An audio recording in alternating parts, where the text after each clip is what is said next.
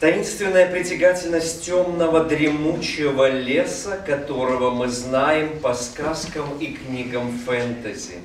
Пугающие тени и странные звуки дразнят наше воображение. Что это?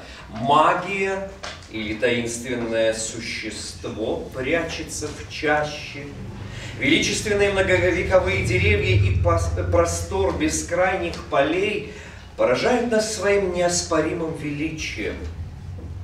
Но что это всерьез? На самом деле лес олицетворяет собой наш внутренний мир, наши собственные страхи и тревоги, стремления и желания.